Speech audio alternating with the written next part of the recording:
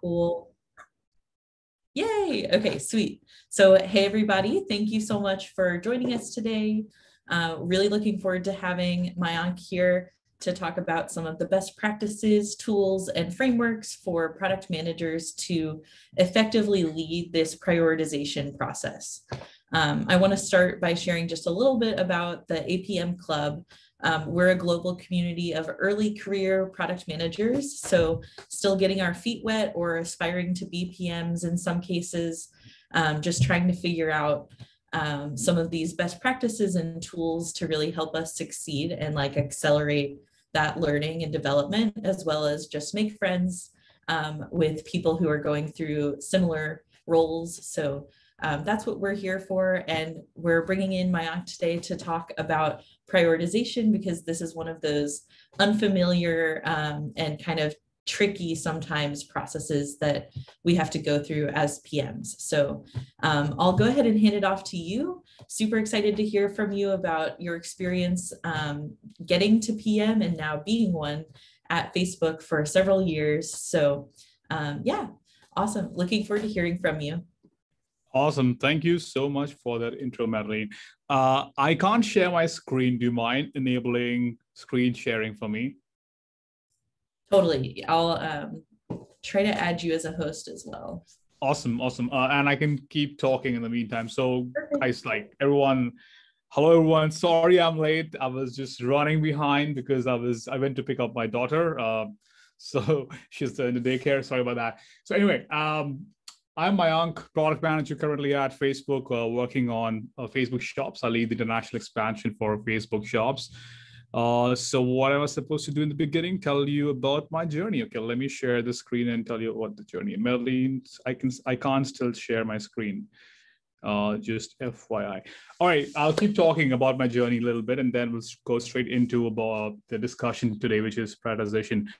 Well, uh, I mean, every PM's journey has is, is a unique one, I, I believe, uh, in our own ways. Um, mine is similar. I got my first into. I mean, I came to Columbia from India to study uh, do a master's, and um, there uh, the goal was primarily to uh, meet more people and really not study much. That was the objective, and and that was met. Uh, didn't do really well in my first semester.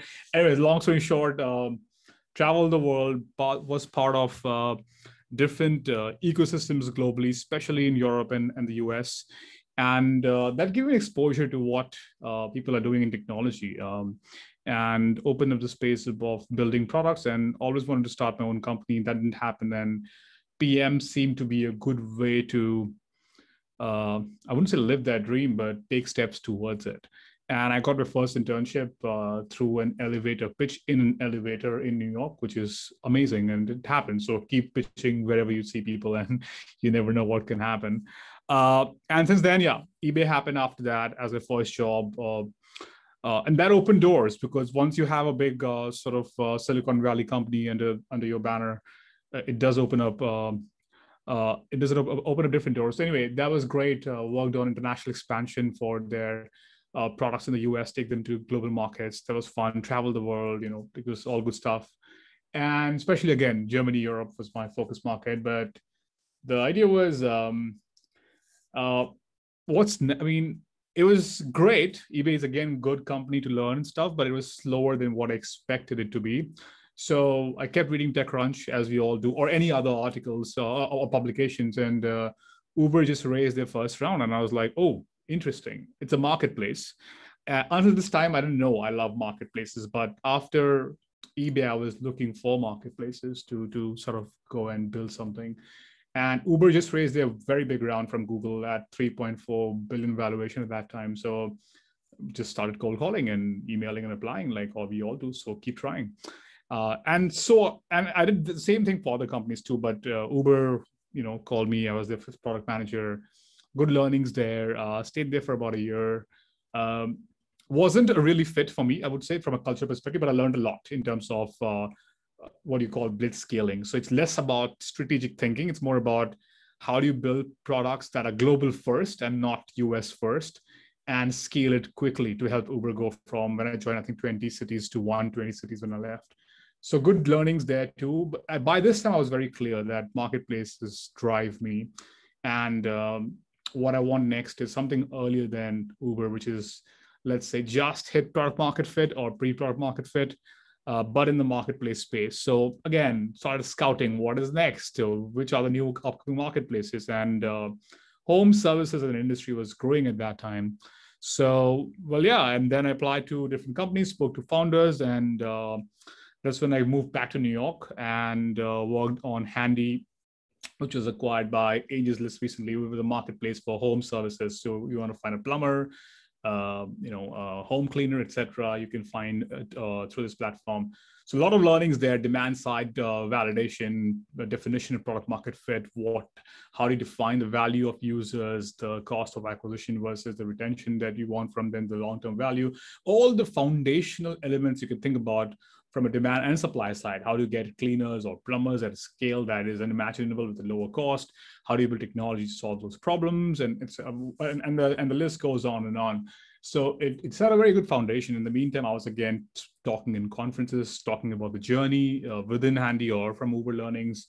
That also gave a good exposure to um, uh, meeting more people beyond that small network of sort of New York community and, and, go beyond. So I spoke at multiple conferences again in Europe because I love to travel there. Anyway, long story short, then how Facebook happened. Uh, I applied to Facebook. Okay, this is another interesting one, and then I'll move to you know questions and then to the topic. So I was um, enjoying Handy a lot. Great founders. I love working with everybody there, and there's no reason to leave. Uh, and then I applied to Facebook. I think in my after a year and a half or two maybe at, at handy. And then i got the job but i realized i still can learn even more at handy at that time. And new york was still home by then. Um, so i skipped. I i could have moved to new york with facebook. I mean be in new york with facebook but i said no to facebook at that time and, and still worked with handy for another i would say year and then I realized what's lacking is an ecosystem where I can learn from people who are way older than me in the profession, way more experienced than me, way better than me in the profession. And I thought um, it's time to, to go to one of those ecosystems. And that could be a Google or Facebook and Amazon, any large company where you have that um, product management culture and leaders who you can learn from. Because after a point, you can't just learn by doing, you have to learn by uh, being with people around you who are better than you, who make you better, who help you pull up into the into the learning experience and into your profession. So anyway, then Facebook happened, and long story short, at that time, and again, coming to Facebook, still that entrepreneurial story continues. And then anyway, I was given the charge to launch a new vertical within marketplace for homes, and then for scaling it, taking it to international markets. So a lot of traveling happened, met a lot of people, did a lot of talks, maybe like now it's been 30 40 talks i've done in the last couple of years. So i think the journey has been quite interesting uh, and now i lead um, uh, one of the core initiatives for facebook uh, facebook shops. You can if you're an influencer on instagram or a brand on instagram or facebook you can sell through facebook as a, as a real e-commerce experience. I lead the expansion of that uh, globally. So global became my thing. Marketplace became my thing. Zero to one became my thing. So suddenly uh, the dots connected, and and you are a brand in terms of telling your story that you are the one who builds marketplace. You are the one who takes marketplaces global, and you know something about building zero to one products. So that became my story, and that's my journey.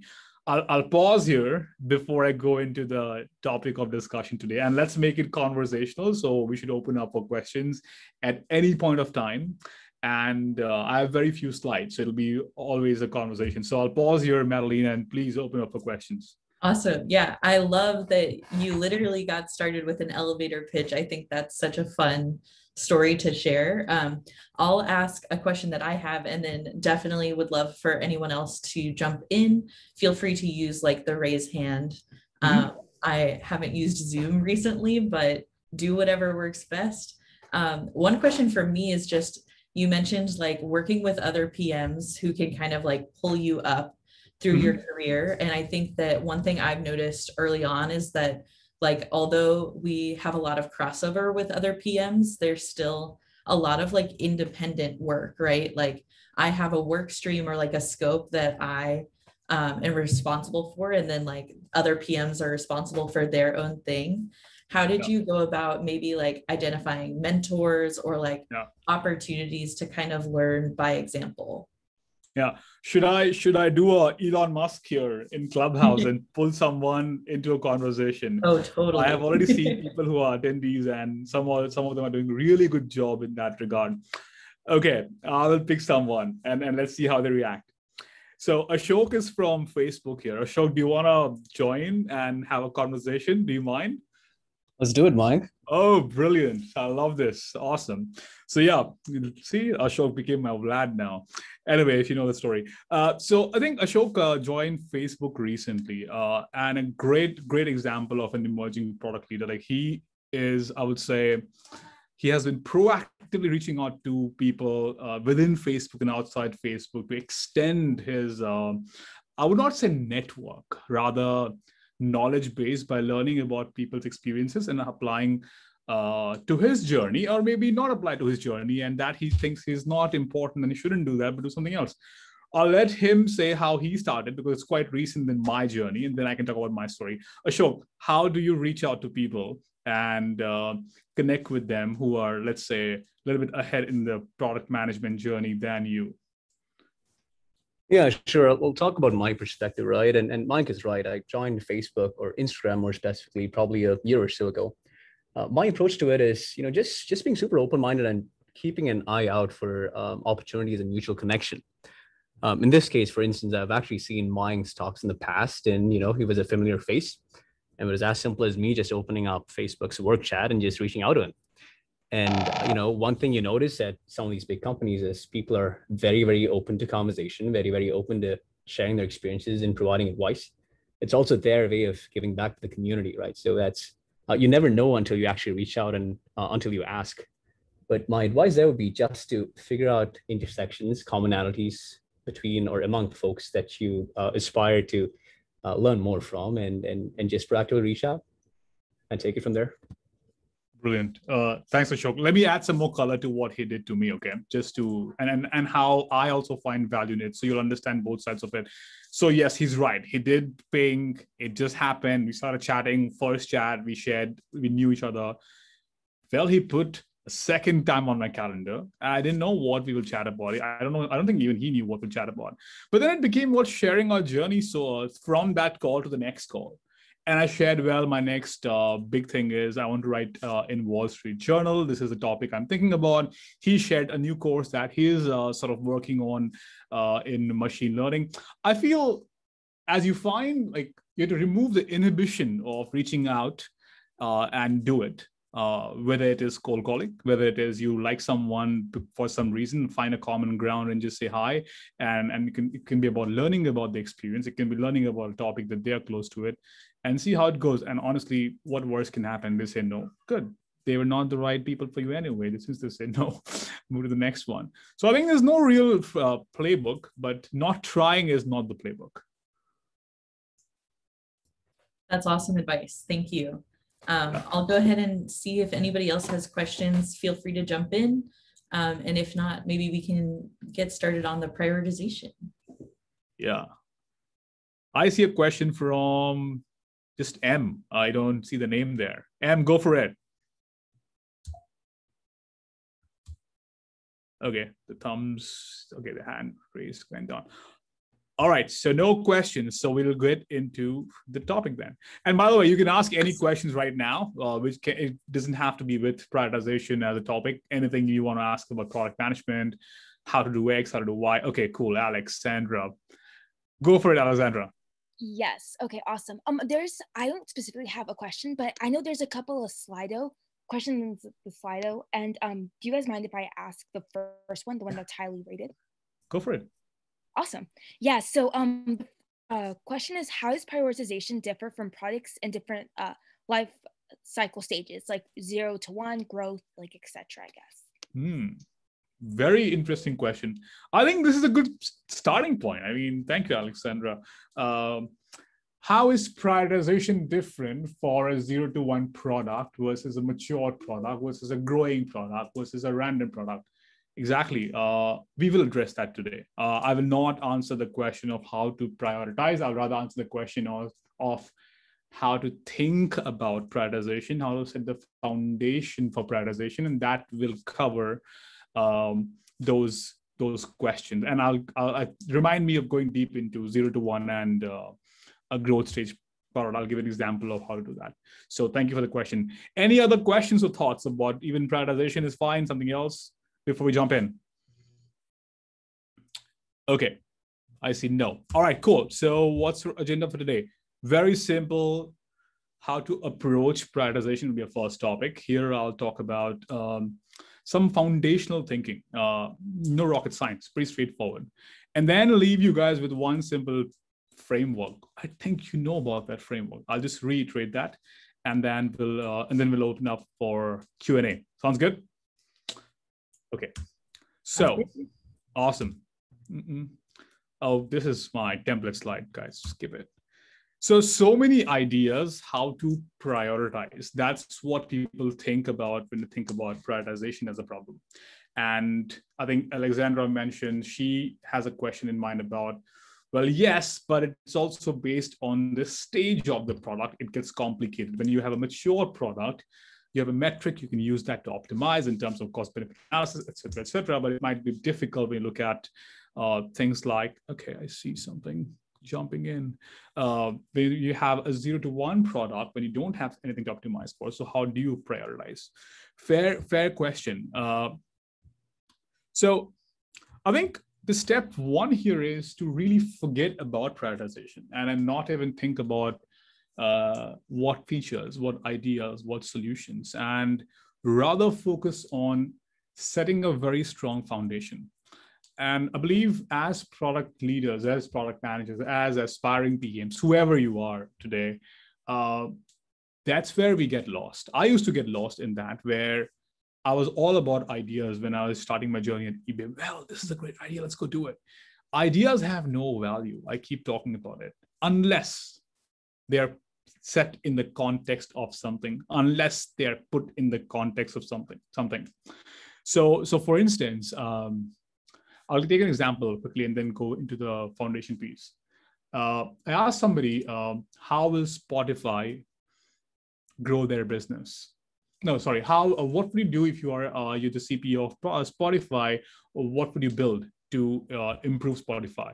And they assumed revenue was the most important thing, and everything became about revenue. But that's not true. Uh, it depends actually what you want to optimize for or what you want to build. It could be just about discovery. It could be about better user acquisition. It could be about something else. So they came up with new ideas on how to increase revenue, but it didn't matter because nobody cared about revenue at that time. When we discussed the question it was more about how do we improve experience of uh, spotify in a country like india. So i think laying the strong foundation the step one is to understand the problem really well. And as product leaders i will just share what i mean by laying a strong product foundation and then tie it back to uh, product strategy and then tie it back to goals. And then we talk about prioritization Okay, so this is where things get tricky when we are starting our career as PMs or even mature PMs. Uh, we forget about these things, the most important things that every leader cares about, the mission of the company. People think it's a, just for the sake of it, or the company strategy. There are people who don't even know what the company strategy is sometimes. Uh, and then the product strategy comes next, where the product strategy is your foundation to think about your road mapping and setting product goals and which actually is a part of prioritization. Roadmap is a part of prioritization. But if you have a very weak product strategy whatever you do in in the roadmap uh, road mapping process it does not matter. Uh, i think so a weak product strategy would be something that does not ladder up to the company's mission or company strategy or your organization strategy. I think I tried to take an example of Spotify here again. Imagine the mission for uh, Spotify is help people discover music globally. Now, you may have 10,000 ideas on how to make Spotify amazing. Let's add a social feature. Let's add short music to it. Let's add a clubhouse feature to, uh, to Spotify but does it really connect with the overall company strategy is what makes you successful and what will set a foundation for prioritization slash road mapping? So for instance if the company strategy is uh, after the mission help more people to discover music by focusing on three things. Bring more new users to propel new growth, increase music selection, and make music discovery easy to help discover okay, help discovery of music once users are in the app. If these are three pillars the company is focusing on, and you're focusing on a new bet, which is called, let's say, Clubhouse or audio, instant audio meetings, it doesn't matter. It doesn't ladder up. It may be a great idea. It may be a cool idea. When you go and prioritize, it doesn't fit the bill. So no matter what the strategy is, you may not believe in the company strategy sometimes because you know it's sometimes nuanced because the information the leader has, you may not have all the information. Uh, it's very important to ladder up. So, for instance, if, a, if it's a growth team and they pick a strategy which is increase relevance to enhance music discovery and measured by increased number of plays, well, that's a very strong strategy, a very strong foundation which really ladders up to the company's strategy. It makes perfect sense versus somebody coming up with an idea saying, let's go build an audio uh, streaming service for instant communication or rather a group meeting. That does not ladder up. So again, it should never be a part of setting the foundation. Okay, I'll pause here for questions on uh, the value of mission strategy, uh, product strategy, and roadmap, and the value of laddering up to it versus just working on a silo on your piece of work. Any, any thoughts and or questions or feedback here?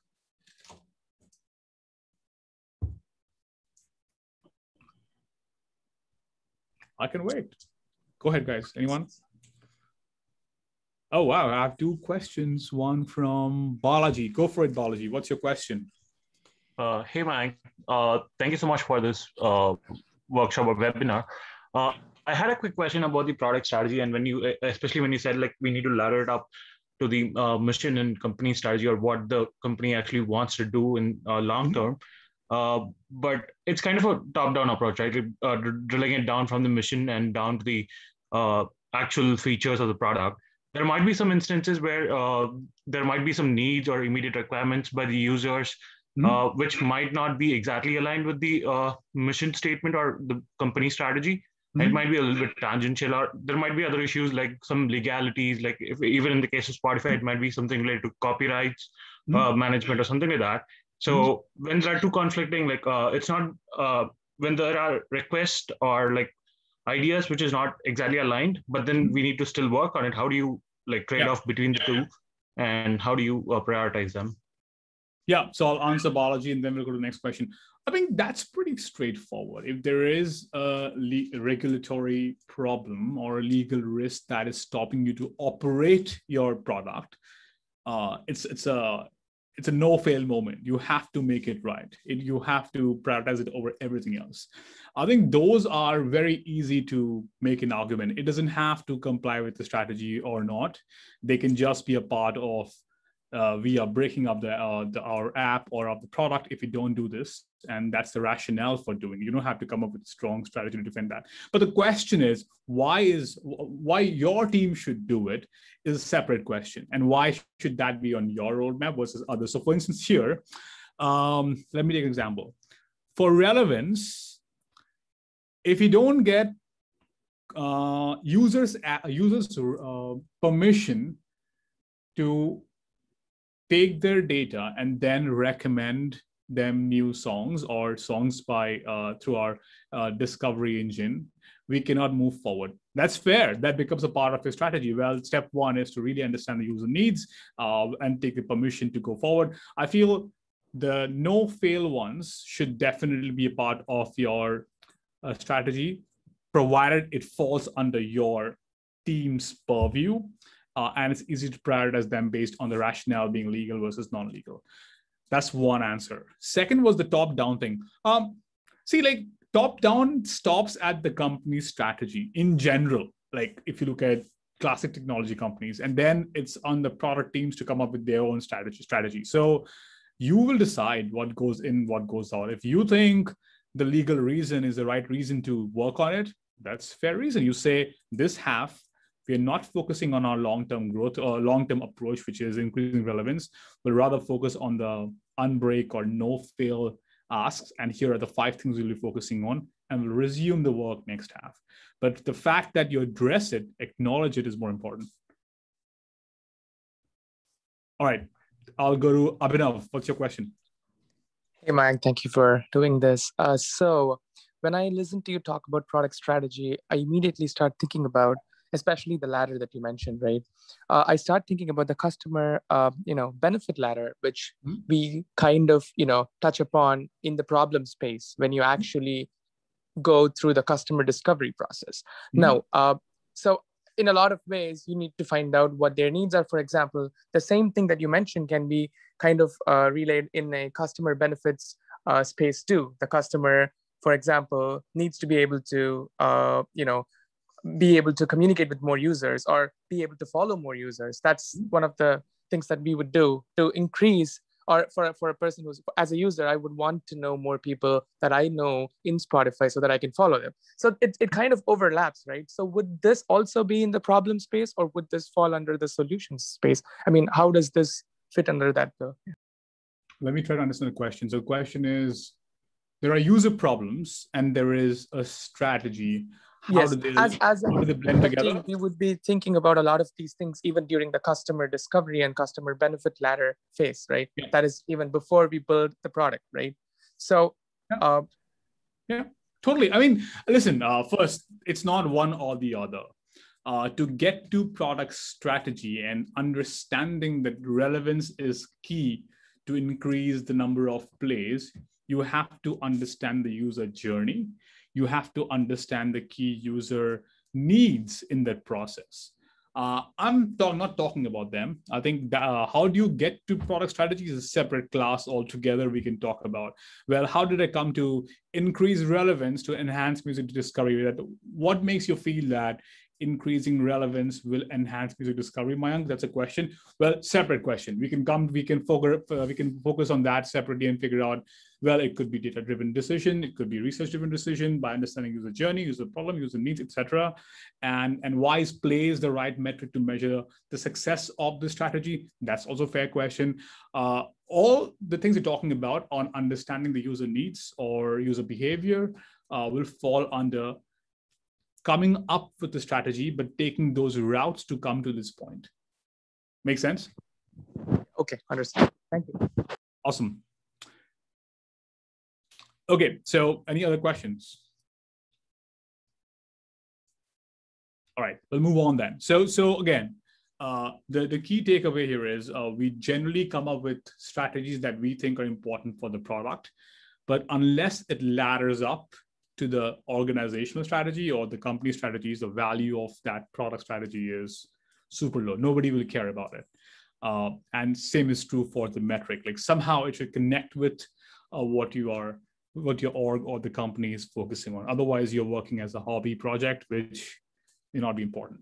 Now, why it's important for prioritization is it sets a very strong foundation. So now you have a decision criteria or a metric that you, or a decision foundation, which, which will be used to do the prioritization. So what's next? So let's say uh, you come up with this whole uh, strategy, increase relevance to enhance music discovery. That's your sort of mission or um, the strategic direction that you have set for the team. Then it comes down, all right, how can we get there? You sit with the team together and come up with key themes that you may come up with, which could be, I'm just making it up here, it could be improve ranking. Why? Because the team came up with some ideas in a brainstorming session or with data science research or user research, you figured out that, well, improve ranking does show that uh, relevance increases and number of plays go up. And, and then you figure out, oh, what are the ways to improve ranking? Ranking is how what to show, when to show to the user. And then you make a list of bets. Well, we will add more content uh, metadata into the songs to make sure we can better understand the song. Well, we'll understand the user requirement, user needs before we, uh, and use that as a signal to influence our ranking, etc. And you make a list of bets there. Again, they're not prioritized, but the, the point I'm trying to make here is once you have this strategy, you can do a brainstorming session to go towards it, towards that direction of the strategy and come up with different teams to then come up with list of bets that you want to make for the team. This is again very important because as you're going step by step, it's making sure that your thinking is foolproof if someone asks you about an idea, oh, yeah, it's about improved ranking. Well, we know that it helps in increasing relevance. So we are focusing on that, if at all that happens. So again, uh, focusing on the step-by-step approach gives you a very strong foundation to then go into uh, prioritization. Any any questions here?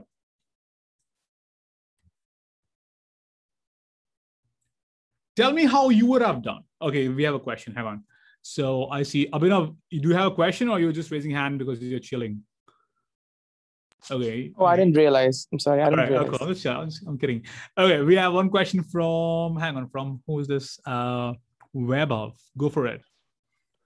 Hey, Mayank, thanks again for doing this. Um, and apologies for the background sound. Um, so essentially, I just started at eBay a couple of months back as a PM. And uh, I work in the global growth org, uh, specifically on payments and shipping comms. Okay. And my question to you is, how do you, uh, how would you go about prioritizing in this sort of a setup where you have your own roadmap, but you mm-hmm. also have multiple teams kind of looking towards you and your support to mm-hmm. achieve mm-hmm. line items on their stack ranks.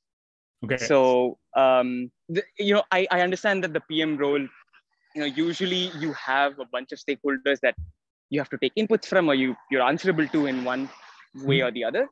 Uh, but in this role, I've, I've come to see there are more stakeholders than usual. So yeah, that, that's my question for you a great question. I think again, uh, if you have a strong foundation, if it ladders up to the company's strategy and company's goals, it all makes sense. So think about this tree and replicate that and replace it with goals. So mission, fine mission, company goals, org goals, product goals. Uh, that is your basically if you're part of I don't know, global shipping team, what is their goal and what's the company goal?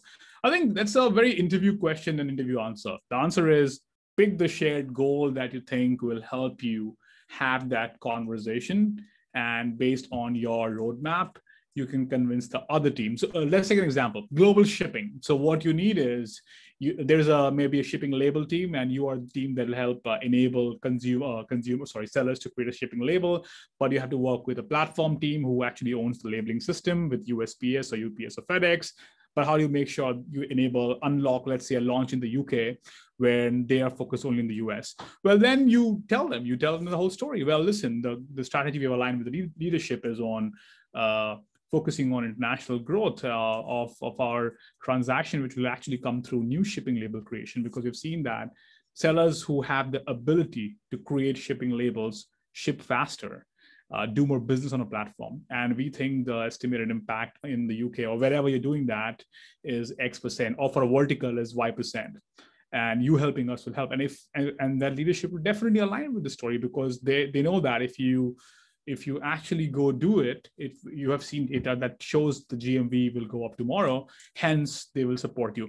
Now, if they don't support you, the story is you just have a joint session with the leadership and, and tell you tell them the same story, mission, the org strategy, and how you ladder up to the org strategy. The moment you talk about that, you get prioritized. You get resourcing from the platform team or the team that you want to work with. I work with at least uh, eight right now, or eight to 10 platform teams or, or relevant sort of teams. And they're all aligned because we are aligned at the leadership level. And that only happens when it all ladders up to what the company or the org strategy is. So I think when you write your strategy document, uh, if you start with why it's important for the organization or for the company, and then what are you doing ladders up to it, uh, the story becomes very clear and commitment from other teams become very clear. Does it, does it answer your question? yes it does i was just about to ask you on you know the, at the end of the day the the constraint is on the resourcing side uh, but then you you kind of answered my follow-up as well uh, and i could see a lot of contextual uh, ebay uh, you know knowledge coming through as well so thank you so much cool we have one more question from Srinidhi. Go for it. Yeah. So uh, I'm also an early career product manager, and uh, I, I would like to understand how we could prioritize between a greenfield idea or an idea which we know for sure it, it's going to be a sure short success. Though both these greenfield idea and the general idea relate back to the product strategy, company strategy that you mentioned, uh, are there some tips and tricks or something like that to prioritize between these two? Yeah. I mean, listen, I'll not give you any, there's no rocket science. This is pretty straightforward field of work, product management, right? It's basically English and we just put this into practice. Yeah, I mean, it's simple. If you have an idea that you know is a sure shot success and the impact is high, mm-hmm. uh, this is a classic, uh, you know, sort of uh, uh, cost benefit analysis. If you know that the two bets and one bet will result in some impact, which is tangible and, and big enough for the company and for you to care about, of course, shut down the second project. Don't work on it. It's okay to say no. I think uh, I had fourth slide that I was working on it and finish it. Uh, it's okay to shut down your own team, in fact, if there is lack of alignment with the leadership. So, for instance, uh, if your product strategy that was set before and you inherit a team mm-hmm. and you mm-hmm. think it doesn't line up with the company strategy, the org strategy, and let's say you try to change it, even then it's too far away from it. Stop it. Let's say you have two ideas, uh, and one is most impactful, uh, and the other is not, but the team was working on the other idea, but you think it's cool but not impactful. Stop it. You get val- you get credits to stop projects. You get credits to not do things versus do things and fail uh, knowing that you will fail. So just executing for the sake of it is absolutely bad. That's one answer. And the second answer is if you have 10 people, uh, instead of doing five, five and, and reducing the speed or velocity of delivery, you rather want to have all 10 working on one project where you know you'll definitely deliver, gain the respect and momentum as a product leader with that win, and then think about the next one uh, in a way where you reduce the risk and increase the impact. So I feel mm. less is definitely more, uh, and you'll be very lucky to get an idea that definitely works. It's also hard to find, by the way, which definitely works. But if you have one, yeah, just do that. Right, right, makes sense. Thank you. Cool. Any other questions on this, or any other question? Okay i think my my key takeaway when i'm talking about this is we we spend a lot of we uh, emphasis on um, prioritization which is very simple. It's cost benefit analysis. Once you have a set of ideas you put them into some framework of themes or whatever you have pods and you look at the cost and the impact or the risk involved in it and based on that you prioritize. It's not that difficult. I mean i don't think it's that hard. The hard thing happens when you want to do everything and you don't want to say no to things. I think that's where either you start saying no but if you think the impact is still high you that's when you talk to the leadership and ask for more resourcing. That's how you grow a team. That's how you add more people to your team. Uh, but prioritization is not rocket science. It's absolute uh, the, the i think the fact that you got to the level where you are now prioritizing it means the work you have done so far is is solid. But people fail because when the list comes out after prioritization when someone sees it they're like oh but but why are you doing this? And and how it ladders up? And why is it important? And that's because your foundation is weak and I would say I'm just pushing for, as product leaders, spend a lot of time understanding your problem space, understanding the company strategy, figuring out a connection or building a strat- new strategy that has a clear connection with the company strategy, then focus on some good broad themes after team brainstorming, and then figure out the figure out the basic prioritization after that there's no questions left. It's very strong it's, it's a solid framework and you can defend it every time. And then keep repeating the strategy keep repeating your themes keep repeating your roadmap. That's what makes it perfect. Okay i'll pause here for questions that's all i had awesome. Um, this has all been really amazing so far. Thank you so much. Um, we can definitely go through some of the top ranked top ranked questions on slido if that works. Um, let's do it I'm happy to read them out or anyone feel free to raise your hand still. Um, the top one was already mentioned. It's how does prioritization differ for products in different life cycle ah, stages? Ah, yeah, great, great question. How does prioritization differ from, uh, let me open the slide and tell you, I don't think it's about prioritization. Um, let me, how does prioritization differ for products in different life cycle stages? See, I think there are two types of life, uh, two types of stages. I would say one is you haven't launched and you're about to launch.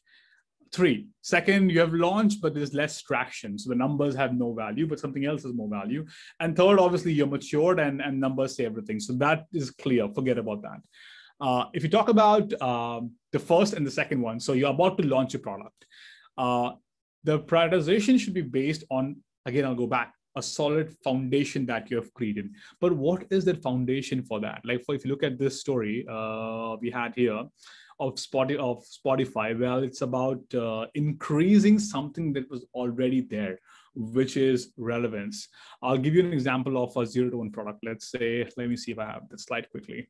Mm-mm-mm. Global. Let me just, yeah. So for a zero to one product, this is my other talk I was trying to pull up.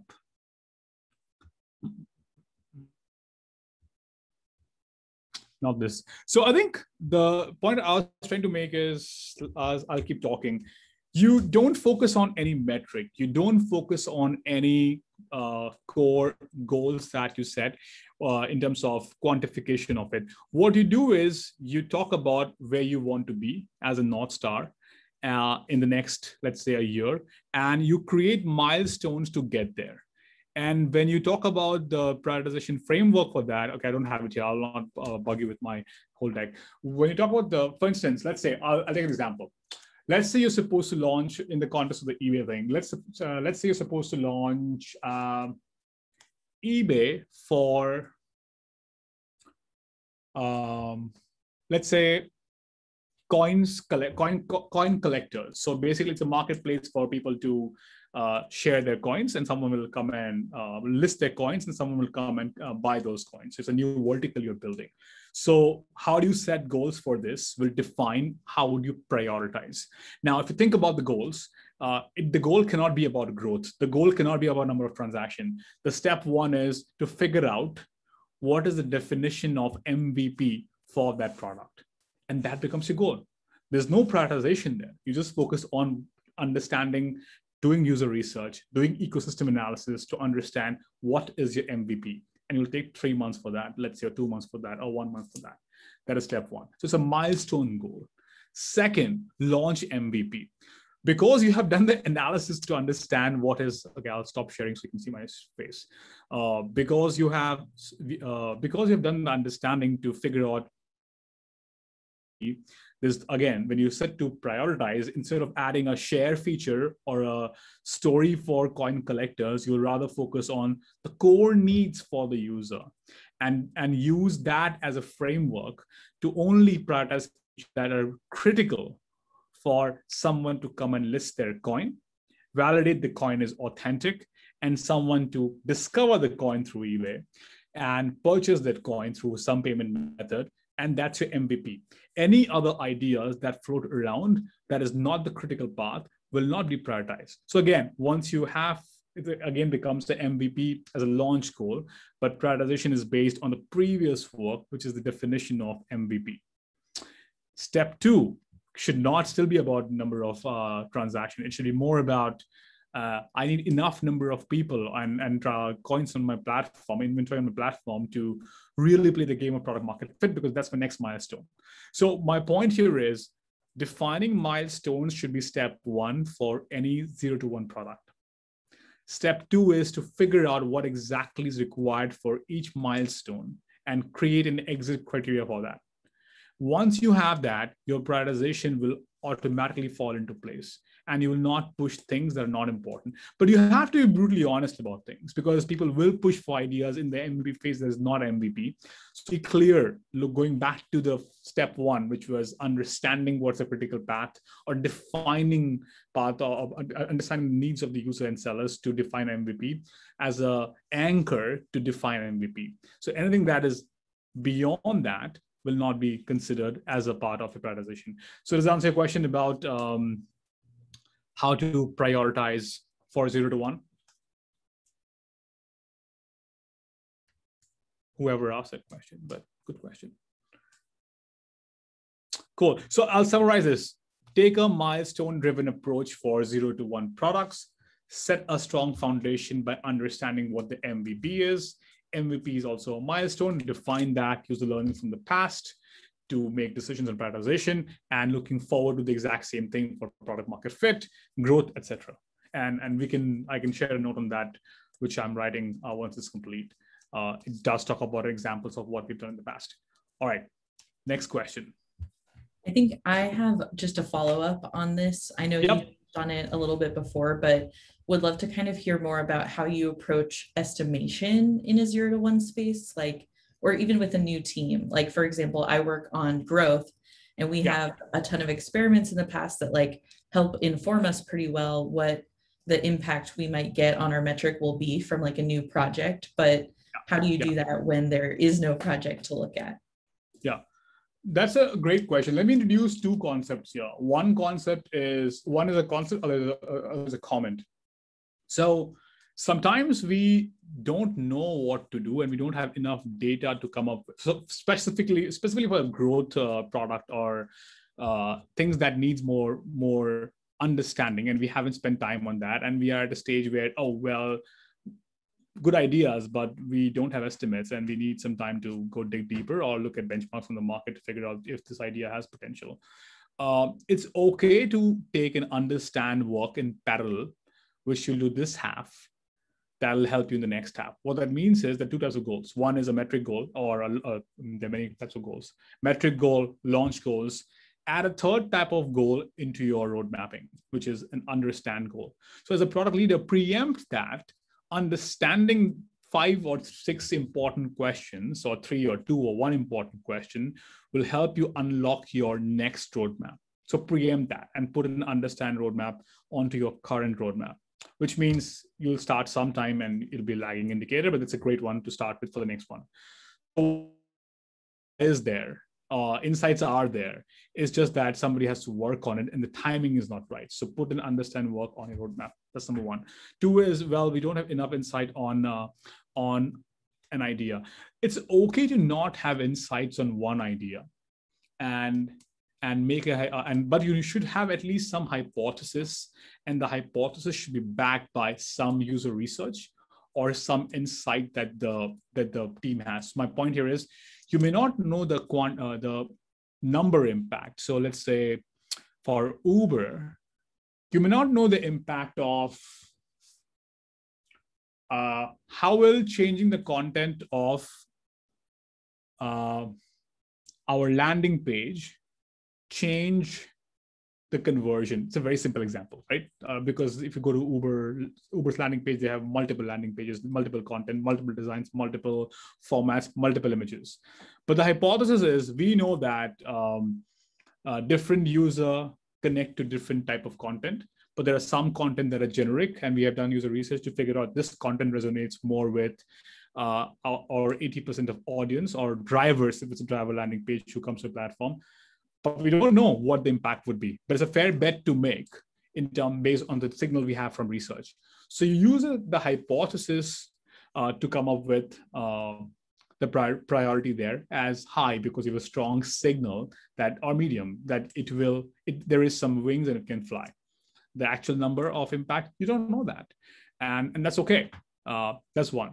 But you might use some benchmarks from the past to see what's the best result you've got for an experiment like this uh, based on the current traffic what uh, if you move it by that percent how much it could be. So i think using data science here to use their judgment to come up with some extrapolation will be great. But if not it's okay to have five hypotheses on a list of 20 where you don't have the numbers but they're bets based on hypothesis from some insight which could be user research could also be market research. Does it answer your question madeline? One is pick understand goals for every half and second is uh, pick a hypothesis based on some user research work and it's okay to have a portfolio of bets that are deterministic and there will be numbers and some may not. Totally. I love learning more about like how we can run understanding experiments or just like spending energy on understanding is super important to get that early signal. So that's awesome. And the next question up on slido is which stakeholders or cross-functional partners are involved in the prioritization process? Yeah. what do you think? I mean, somebody should answer this question before I take, give my answer. Okay. I know a lot of people today were on call, but I will not do another uh, clubhouse moment. But yeah, anyone can tell me what do they think is the answer. Or you can raise your hand and answer this question, and then I'll give my comments on that. Who wants to go? Come on, guys, someone. Yeah, go for it. um, so I, I think the mo like there's like two things. One, Sorry, what's your name, where you work, oh, and then the answer. Yeah, dude, use their platform to get the visibility. Why not? At least sure, sure. people know you. uh, let me uh, let me turn on the light. I'm in the dark also. So let's Fantastic. Be, let's be, yeah. Let, us be proper. Lovely. Um, so yeah, so uh, my name is Max um, from Montreal, Canada. Uh, product manager for two years now um, to answer well my take on the question is that you should always consider like all your stakeholders but down the line the prioritization is your to take as the product manager as in like you want to take their input but also a lot of client will try well we work a lot with client requests uh, we'll try to push uh, stuff on your roadmap and if you just listen to them then you'll never deliver other stuff so as a person at the center of all the stakeholders, you're the one who take the decision, but you should always take into consideration what comes yep. from others. Yep. I think uh thank you all the way from Canada. I love Montreal. Never been there, but seen great pictures. Uh cool. Uh I agree with him. Uh it's very hard to prioritize if you have everybody in the room from all cross functions. So um a big no, but it's subjective again on how the good team is and what the definition of all is. Sometimes the definition of all just means engineering and design. Let's be there. It's okay. Let's do it together. Uh, the right approach here would be um, everyone should have a voice in the team. So listen to what people are saying. So have a session to collect all the ideas. That's number one. Second, make it super transparent. What is the criteria for prioritization, which I talked about the foundation, right? The product strategy and the goal for the team should be clearly set before you go into brainstorming. So when you have all the ideas, people know that when if they they may have an idea to make the world better and it will be done provided it is in the context of the goal we have set so it's fully the rules are fully transparent. And then for the actual prioritization practice to be honest like pick your safe uh, group where you think your their opinion matters and they will be very objective about the goals and be very unbiased in picking and help you make a decision. Generally i have what i've seen is uh, pm data science engineering uh, sometimes design uh, really helps a lot in having uh, in a room to to prioritize. But again, the rules should be super clear to begin with, uh, which could be anything that does not doesn't meet our goals. Um, uh, sort of uh, the goals for this half, we shouldn't focus on them. Number one, if the impact is less than X percent, don't focus on that. If it's not a real user problem backed by insight, don't focus on that. So if some rules are set, I think uh, having that four or five people in the group will be great, but not everybody for sure.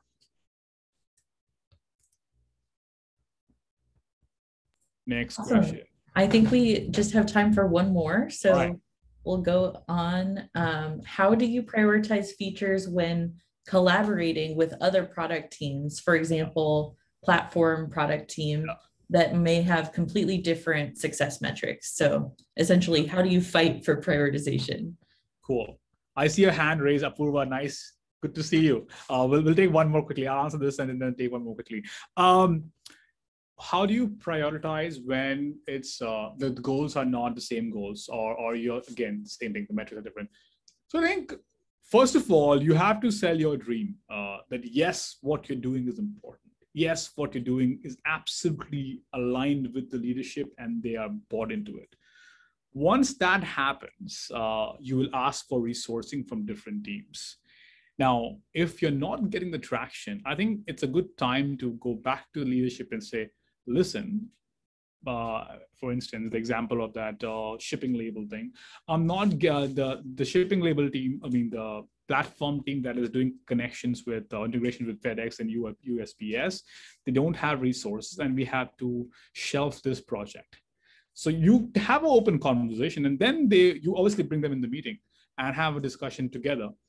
And it may happen that the leader might fund that team with a new resource, or you might have to shelf the project and take it later.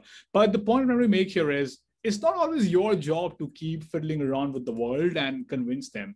Uh, you really have to have an alignment at the top level with the leadership first, and the leadership can be whatever level you are, maybe two level above or one level above, so they can help you. And if you're stuck uh, in this situation where the metrics collide, nothing can help you. You definitely need somebody from the top to come and make a decision. Uh, and it's okay to say no to a project. Again, I said, like, don't be scared of shutting something down.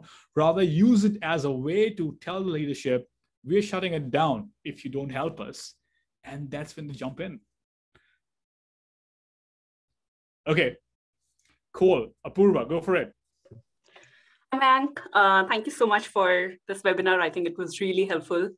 I have a follow-up question on the previous question. Um, so a lot of times, like, uh, you know, I'm, I'm also like, I just started my career uh, in the hardware space, being a product manager. So maybe it could be somewhat driven in the hardware space. But like there are certain decisions when you're designing a product and you know you don't have any preference from the customers or like any data around that um, and you still gotta decide that okay if you know suppose that button needs to go in that product or not but there are no uh, like no preferences around it. Uh, and it's not that important as well uh, about the preference like you know if it would go where and that kind of stuff. So how would you suggest taking those kind of decisions? Uh, i mean i don't know if exactly you would be able to relate to that since yeah. it comes more in the hardware space but Yep. If you have any suggestions around that. I think we all come across similar, uh, but thank you for the question. We all come across similar situations where you have, as product leaders and also leaders in different organizations. I mean, if you mm-hmm. read books from C- different memoirs or different CEOs, you'll find that they didn't know what is there, but they just did it for for some reason. It may not be a button, it might be something else, but that's how that's what they did. Uh, so, so I think you have no data, you have no insights. You have no time to take a call but you have to make a call. Uh, i would say go with your instincts because that's where that's what makes you a product manager. That's what makes you a leader. And trust your instincts. I'll give an example of that. Uh, we are over time so people can drop off if they want to. I'll finish this answer though. Uh, so this was uh, we were launching uh, a very important product in the uk and for our success, a partner, a big let's call them supplier in in the in the context of uh, hardware or in the context of marketplace let's say a big seller was supposed to work with us. And uh, at the end they made uh, so they put us in a situation where i mean uh, the team the whole team where if you don't if you do a b c they had set of requirements only then will work with you. If not will not work with you uh, and at the end, there's no way to say that it's a right or wrong call. It's, it's just, uh, if you look at the numbers, the value they bring to you is way, it's a lot. Like they'll bring about, let's say, 30% of your all inventory for that specific problem or, or that marketplace or that uh, hardware component would have come from that supplier. But the clause were very subjective. You can say yes, no, but it's a subjective call to be made by the PM. Uh, and everybody raised their hands and they said, PM, it's your call. If you if, they, if you say yes, they will agree to it. And uh, but these are three terms that we don't believe in it, but would be okay with it. It comes to your instinct and your fundamentals as a person. So there was one clause that was against how I would operate in an ideal world, and I said this is exactly what we don't believe in uh, as individuals. We think this is a way where we will be uh, creating challenges in future even if it's a short-term gain, uh, instinctively, I think we should not do it. Rationale being, I don't see an upside in future. Maybe there's an upside here right now. So I think to your point, the button thing, you may make an argument. I think the button may be the wrong thing to do, but we don't lose anything to try it. Hmm. Okay.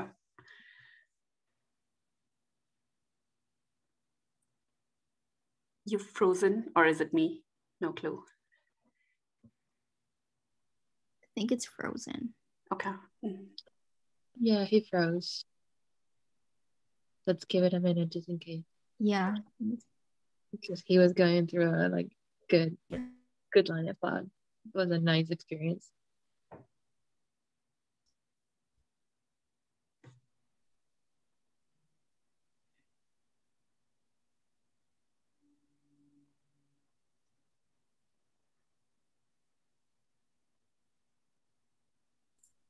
I hope we haven't lost him for good.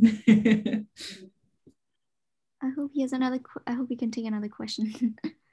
right? Yeah, I think he's dropped off. Not sure if he's gonna. Yeah, we'll see if he rejoins. Yeah. Okay. You're back. Hey, you're muted. You're muted. Sorry, my bad. I don't know where I lost you, but the sunroom has a problem of uh, connectivity. Okay, anyway, did I answer the question? Yeah, absolutely. I think that was helpful. Uh, that's something that I should definitely incorporate and learn. cool. So I think instinct and iterative learning can be a rationale to do something sometimes when you don't know what the right approach is. So that's what I will go with. Perfect. Great. Thank you so much for that. Cool. All right, Mayank, do you have any more time or do you want to close out? Uh, I can take one more. I was late. So um, yeah, let's take one more and then we'll close out if there is a question.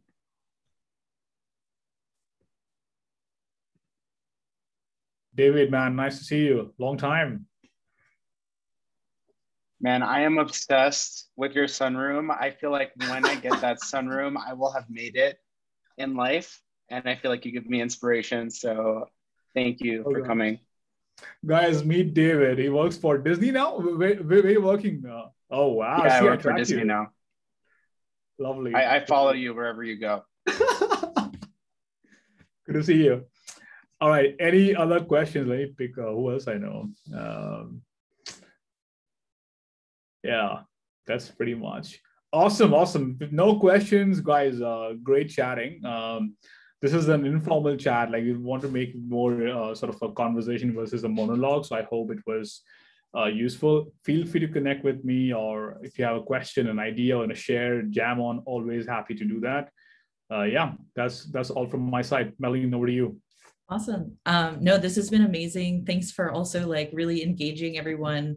I think it's a breath of fresh air compared to your average zoom call so um, super helpful. And then uh, just if you wanted to share like best way to connect with you, I linked your LinkedIn, but if there's any other way, like let us know. Yeah, yeah, LinkedIn is, is great. Yeah, Sweet. of course. Yeah, cool. awesome. Thank you all. Take Bye. care. Bye. Have a good rest of your day. Thank you, Mayank. Thank you. Mayank. Bye. Bye. Thanks all. Bye.